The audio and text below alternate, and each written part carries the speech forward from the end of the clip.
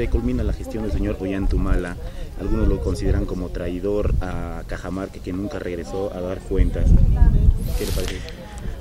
No, yo pienso que es una opinión un poco infantil en el sentido de que el presidente Ollanta ha hecho muchas, muchas cosas para el Estado peruano, como Estado peruano, ¿no? Ha generado políticas de Estado y que, aparte de las políticas de gobierno, digo esto porque estas políticas de Estado están trascendiendo a los gobiernos, una reforma educativa, una reforma de las universidades, un, eh, eh, una, nueva, una nueva visión a cómo enfocar los programas sociales, eh, que pasan desde un tipo asistencialista a un tipo de, progreso de, nuestro Perú, con el tema beca 18, que con, una perspectiva de educar a nuestra gente porque estamos convencidos que mientras educamos a nuestro pueblo, el pueblo se desarrollará.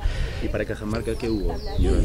Para Cajamarca qué hubo? Para Cajamarca lo que tiene que haber, y, siempre lo digo, es que primero tenemos que juntarnos nuestras autoridades para presentar, ni siquiera se han presentado proyectos de Cajamarca. El gobierno regional, los pocos proyectos que ha presentado han sido atendidos y encima han sido comprometidos con presupuesto, ¿no?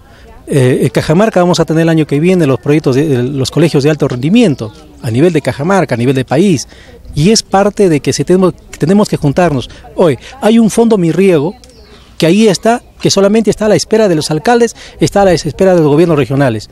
Vamos preguntando a ver cuántos proyectos del gobierno regional se ha presentado a Fondo Mi Riego. No sé si habrá alguno. Algunos toman que el Estado está a favor de la minera para que el proyecto Conga vaya. ¿Esto es cierto?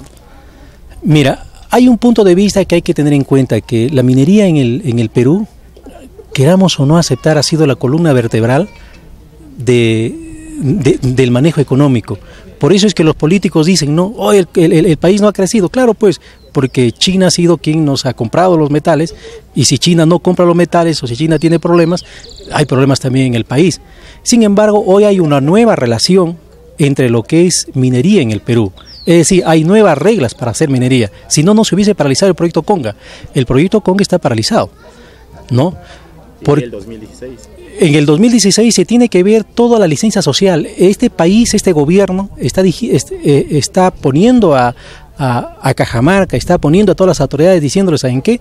Muy bien, eh, si es que este proyecto tiene que ir, pero por la responsabilidad que ustedes van a tomar de aquí en adelante. Es decir, la decisión no va a ser del presidente, de quien asuma, sino la, decisión va a ser del, del, pueblo de Cajamarca, de sus autoridades de Cajamarca, que tienen que dar bien o mal el visto bueno para este proyecto.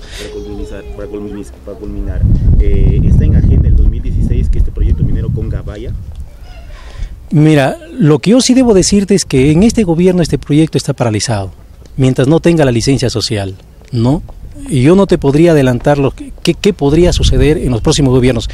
Este, eh, esta idea que este gobierno está dejando tiene que servir para poder consolidar las autoridades y decir si este proyecto, de qué manera puede ir este proyecto, de qué manera no puede ir. Pues, hasta para eso tenemos que dialogar y juntarnos. Pero podría ir. Claro, podría ir. Y eso es la responsabilidad de todos los cajamarquinos, no del gobernador de Cajamarca político, no del presidente Ollanta, sino de las autoridades de Cajamarca. Entonces es una gesta que hoy, que, que hoy sin querer se está manejando, lo están, se está trabajando, ¿no? A nivel de empresa pienso que están trabajando para poder tener esa licencia social. Entonces están en agenda este proyecto minero. Pues no solamente estos proyectos, están en agenda varios proyectos. Lo importante es cómo a través de estos proyectos generar eh, eh, industria, que no seamos un país exportador de materia prima, sino seamos un país donde procesemos nuestra materia prima. Y ahí hay que avanzar, ¿no?